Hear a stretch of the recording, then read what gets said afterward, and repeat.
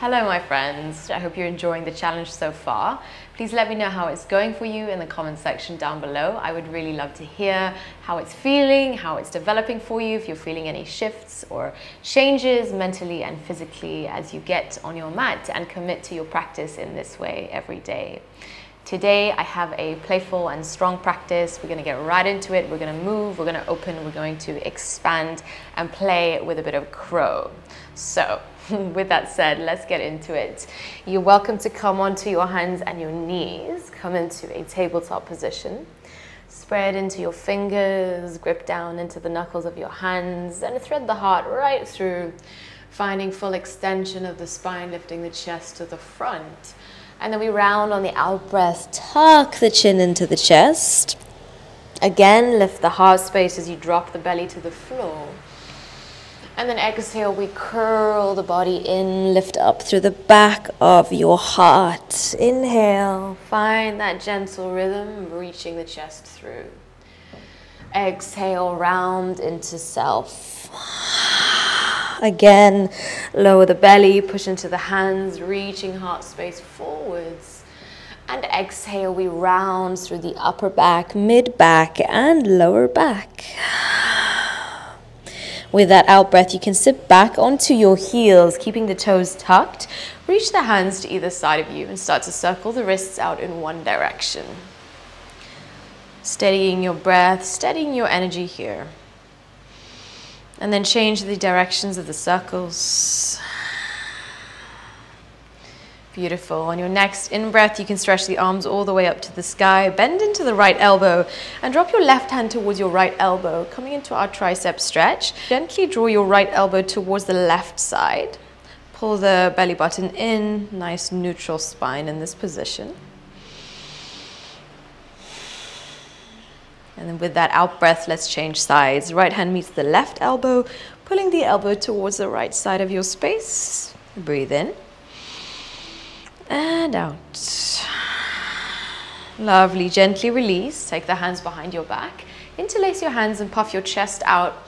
Coming into a little bit of a heart opener, squeeze the shoulder blades together on the back body. Breathe in. I know your feet might be feeling really uncomfortable by now. We're just gonna stay with it for one more breath. And then with that out breath, if you can, keep the hands interlaced behind the back and make your way into a forward fold, however awkwardly you get there. Bow down over your legs, keep a loose bend into the knees as you get a beautiful opening through the shoulders. Relax the face and take a breath into the shoulders here. And then maybe sigh, any audible sound that wants to come out through the mouth. Softly release the interlace of the hands. Left hand grounds into the floor. You'll stretch your right arm into the sky, working towards straightening the right leg. Left leg stays bent. Breathe in. And then as you breathe out, change sides. Right fingers meet the mat, stretching left fingers to sky. Continue to drive into both feet. And then with the out breath, both hands drop to the mat. Keeping the knees slightly bent, start to roll the whole spine up to standing. Pushing into the edges of your feet, lengthen out of the waist as you grow tall, high mountain pose. And then guide the hands into the chest in prayer. Inhale, we grow tall once again. Lift out of the waistband, push into the feet. Exhale, fold, wash the chest over the legs. And then find your breath, find that rhythm, lift the chest space. On the out breath, bend the knees and start to leisurely make your way forwards into a high plank position. Push away from the ground. And then feel into the energy of the arms, core integrated, legs active, whole body alive, awake, and alert. Take a breath. Drop your knees down to the ground. Supported chaturanga, we lower the body down. Come into a round of cobra as you reach your chest forwards. Peel the shoulders onto the back body. Exhale, we ripple to the floor. We go again. Rise as you push the hips into the earth. And exhale to lower. One more time, breathe in, pulling the heart right through in between the gates, of the shoulders. And then exhale, we soften to the ground. Take the hands behind you. Find locust. Emphasis here is squeezing the shoulder blades together as much as you can. So you can reach in the direction of your feet. And then lift your knees off the floor, fire up your legs. We hold on the count of seven, six, five, four, three, two, and one. Beautiful, guys. Relax to the floor. Guide your hands beneath your shoulders. Pull the elbows in towards the body, tuck toes, and push yourself slowly with control if you can. Plank pose. Roll the hips back, finding your downward facing dog. Okay, let's begin to wiggle it out. Bend into one leg at a time. Relax the face, relax the breath. Finding some ease here as you open up hamstrings, calf muscles, spine and shoulders. On your next in breath, reach the right toes into the sky, find your three-legged dog. Pull the knee to the right tricep, round through the upper spine, and lightly, if you can, land the foot outside of your right hand. Lizard shape, we melt the heart and the hips down and forwards, breathe in. And then as you breathe out, start to gently rock forwards and backwards, really getting into our psoas, our hip flexor here. On the out breath, step your right foot back to meet your left foot. Slowly take your flow chaturanga dandasana, upward facing, threading the heart right forwards and through. And then we roll the hips back in your downward facing dog. Reaching your left toes into the sky, three-legged. Left knee to left tricep, hollow out through the armpits, hold for a moment.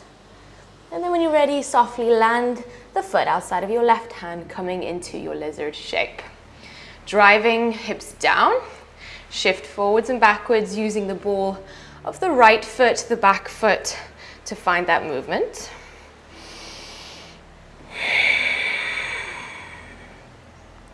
And then on your next out breath, your left foot steps back to meet your right foot, plank pose.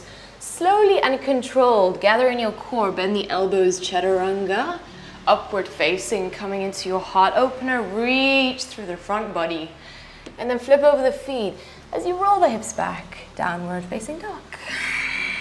Taking a rooted breath. We begin to lift the heels off the floor now. Find a crouching dog, pull the knees into the heart. And then you're going to spring, step, jump, or walk to the front. We meet in quite an active squatted position. So if you need a few breaths to get here, go for it. No rush, never rush. Reach the hands out in front of you. Breathe into your hips, pretty strong here. And then slowly begin to straighten the legs and guide your hands into your chest. Inhale, we rise, reach the arms up. And then on the out breath, sit back down into your squat, nice and low. Reach the hands out in front of you. Get a little bit lower, find your edge. Softly land the hands down to the floor and step it back into a plank pose pushing away from the ground, find a vinyasa of your choice, finding your upward facing or your cobra reaching through front body. And then we roll the hips back with awareness, taking the tailbone back in your downward facing dog. We'll do that a few more times. Nice active sun salutations. Start to lift the heels off the floor. Find your crouching dog, bend your knees generously. And you can step, jump, or land lightly forwards in your active squat, reaching hands out in front of you. Breathe in. And then straighten the legs as you guide your hands into your chest. Inhale, we rise. Exhale, come back down into your squat, reaching fingers forwards. Lightly land the hands down. Step or jump back into your plank pose, finding your flow chaturanga to your upward facing, reaching sternum forwards, and then we roll the hips back in our downward facing dog. And we go again, heels rise off the earth, crouching dog. Find a sense of lightness and playfulness as you move. Reach the hands out in front of you, active squat. Breathe in. And then breathe out, guide the hands into the chest as you straighten the legs. Inhale, rising up, fingertips grow tall. Exhale, come back down into your squat. Land the hands to the floor. Step, jump, make your way back into a plank, finding your vinyasa, upward facing, and downward facing dog. Two more rounds. Heels lift off the earth, bend the knees into the chest, Take it forward, step, jump, however you get there. Reach the hands forwards, breathe in. Straighten the legs, pull the hands together at prayer. Find that breath, find that play, extend your fingers long, inhale. And exhale, bring yourself back down into your squat. Drop the hands down to the floor, plank position, chaturanga, dandasana, upward facing, pull the shoulders onto the back body, and then we roll the hips back, downward facing. Last round, lift the heels off the floor, crouching dog, take it forwards, softly landing, stretching fingers forward, sink a little bit lower into your hips, and then we straighten the legs, bringing hands at heart space. Inhale, rise up, pushing energetically into your feet. Exhale, come back down into your squat. Reaching forwards through the hands. Drop the hands to the earth, plank pose. Find your flow, try to move with awareness. You can slow it down, you can speed it up, don't rush it. Just moving from a sense of playfulness, exploration as we move through space. We meet in our downward facing. Let's all land here with a nice relaxed breath in through the nose, let the belly expand. And then you can open the mouth and let it go. Beautiful. With that out breath, stretch your right toes back into your three-legged. Pull the knee to the right tricep. So once again, just as we did earlier, round through the upper spine and hold. Your left heel is lifted off the floor. Lightly land outside of your right hand in a lizard lunge. Reach through your chest and your hips. Breathe in and out. Let's find a twist now. Stretch your right fingers into the sky, reaching into right fingers. Feel the energy travel up both arms. And then you find a side plank of your choice. So you're welcome to maybe place this right foot in front of you, maybe stack the ankles, or for an extra challenge, maybe lifting the right ankle off of the left. We hold for five, for four, for three, for two, for one. Nice work, guys. Right hand meets the floor. Hug the right knee into the chest, listening carefully. Land the right knee down to the floor. Find your supported side plank, stretching your left arm and over. Push into the edge of your left foot and find a moment of space here. Of expansion across the lateral line of body. You can rise into gate pose, keeping your back left leg straight. Stretch into right fingers, opening up right side body. And then lightly land your right fingers down to the floor once again. Okay, listening carefully. Your left arm is long. You'll pick your right knee off the floor using that traction from the back foot and also using the support as you push away from the right hand. Kick your leg through. You're welcome to drop this right foot to the floor or keep it hovering. I'm gonna hold for one more moment. All right, nice playful transition. Drop your left hand to the floor. Flip your dog, right foot pulls over to the side. Wild thing, reaching through chest space. Are you with me? okay, find a moment of play here. Firming into the bum and opening up your chest and your heart space. On the out breath, lower the hips.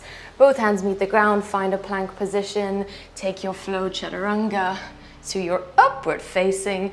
Roll the hips back, downward facing dog.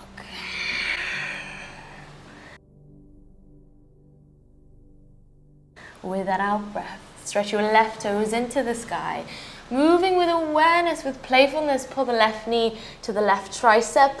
Lift up through the back of your heart, hug the belly in, and then lightly, lightly if you can, land forwards in your lizard lunge. Breathe in. Into the hips, into the heart space. Find your twist. Stretch your left arm into the sky. Grip down into the right fingerprints as you lean into the left shoulder. We'll come onto the outer blade of the right foot when you're ready and find your side plank. So whatever you had on the first side, try to lift your bottom hip up. We hold for five, for four, for three, two, and one. Nice and slowly, left hand meets the ground. Hug your left knee in towards your heart And then drop the left knee down to the floor. Supported side plank pose, taking a leisurely, softer moment here, finding a sense of ease alongside the efforting. As you feel into the back foot, let's rise into gate pose. Open up left side body. And then nice and slow, taking your time, we land the left hand down to the floor. Feel into the back foot and the left hand as you lift your left knee off the floor. Nice and fiery here. Kick the leg through. You can also find that fallen star variation where the left foot is grounded. We're gonna be here for two more breaths. See if you can hold it and fire things up. Don't hate me. okay, nice and slow. Bend into the left leg. Right hand meets the ground. We flip our dog nice and slowly and consciously moving through the transitions without rushing, but feeling into each shape almost from the inside out. Open up your heart space. And then lower the hips. Lower both hands down to the ground with control find a vinyasa, chaturanga to upward facing. Roll the hips back, feel that movement as you segment your spine back in your downward facing dog. Push into the hands and into the feet. Take a relaxed breath as you sink into the floor.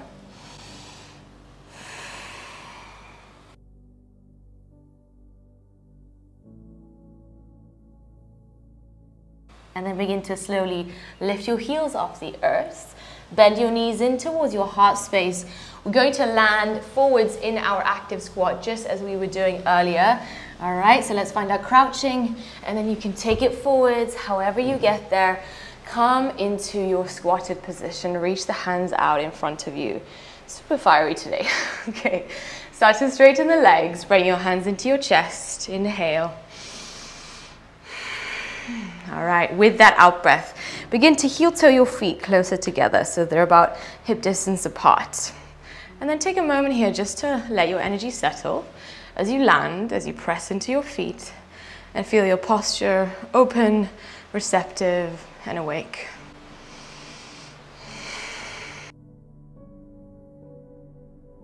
Okay, nice and slowly begin to lift your heels off the floor. Now start to fire up your quads. So hug the muscles of the legs to the bones of the legs. We'll slowly make our way down into a toe stand. Don't overthink it. Just slow and gradual. Try to keep the shoulders in line with the hips as you bend your knees. Slow, controlled strength, challenging our balance, challenging our mobility and strength. Okay, if you're here with me, well done. And if you're also wobbling, well done, doesn't matter. You can drop your hands down to your thighs. You can also lower your hands down to the floor if you're struggling with balance. And then try to allow your spine to grow tall and long. Hold for one more moment.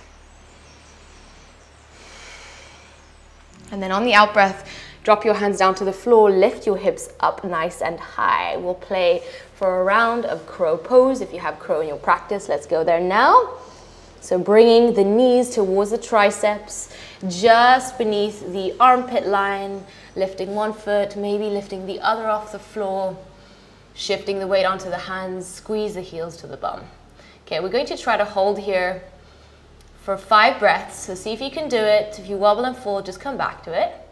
Holding for five, for four, three, two, and one. Nice, guys. well done. Drop down into a Malasana squat, yogi squat. Bring the hands into the chest. Lengthen out of the lower back for breath. Nice and slow. Take the hands behind you. Drop your bum down to find a seated position and we'll find pigeon pose, full pigeon pose or fire log pose here. So you're welcome to cross the right shin over the left shin. If you have the openness in the outer hips, you're welcome to find a kind of crossed situation here with the shin bones. This is not accessible to many bodies, so if it feels better to just cross the right foot in front of the left shin like that, let's go for that. Let's shift the hips back a bit have the fingers facing forwards, and then we work with the breath to ease us into the shape. We breathe in, lift the heart. And exhale, lean forwards halfway.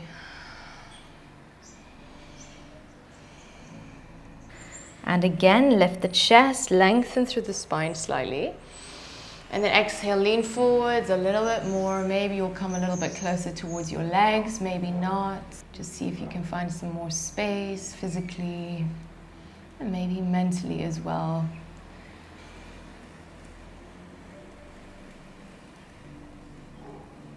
And begin to nice and gradually make your way back up. Change the cross of your legs. So whatever you had on the first side, let's keep the feet flexed. Fingers face forwards, shifting hips back. Try to glue your hips into the ground and then lift the heart. Inhale. Exhale, maybe leaning forwards halfway. Making sure that you're not holding onto the breath, but you're continuing to find a steadiness to the breath, which will steady the mind and steady the body as a whole. Inhale, lift up again. Exhale, lean forwards.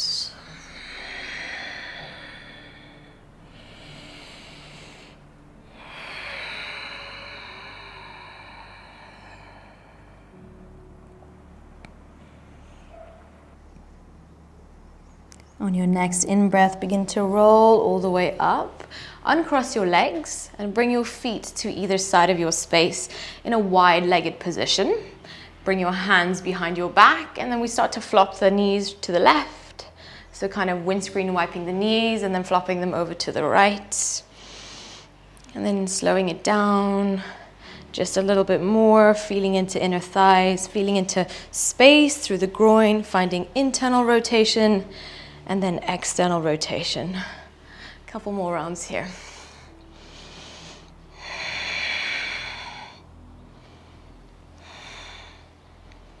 You can begin to slow the movement down even more until you come to a gradual stop. Sitting up nice and tall, we'll start by crossing the right foot in front of the left foot. Reach the arms up to the sky, lift out of the waist, pulling the frontal rib cage into the body. Take a twist to your right side, gently pressing your right fingers on the floor behind you as you peel your right shoulder back. Lengthen out of your waist as you breathe softly.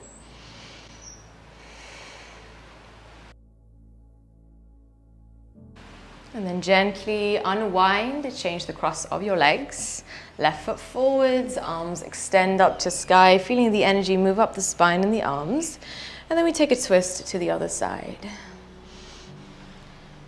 Relaxing the muscles across your face and your neck. Gently unwind to face the front of your space. And then we reach the arms up to the sky, feeling the energy in the arms and the hands and the fingers. And then allow your palms to connect here at the top and then bring the hands right into your chest space. Dropping the awareness into the breath and into the heart to close. Let's land and ground with a conscious breath in through the nose.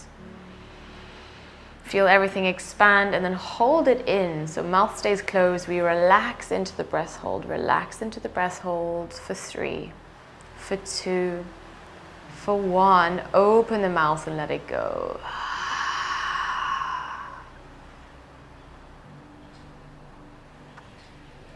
Namaste. Thank you guys for joining me today. I hope you enjoyed that fiery practice. Please let me know how you went in the comments below. And if you'd like to sit here for a little while longer in meditation, you are of course very welcome to do that. I definitely encourage that. I am looking forward to seeing you tomorrow. Please let me know how it's going for you. As I've mentioned, I'm really keen on hearing how it's all developing for you. And if you feel any of these shifts internally and also physically as you commit to your practice in this way.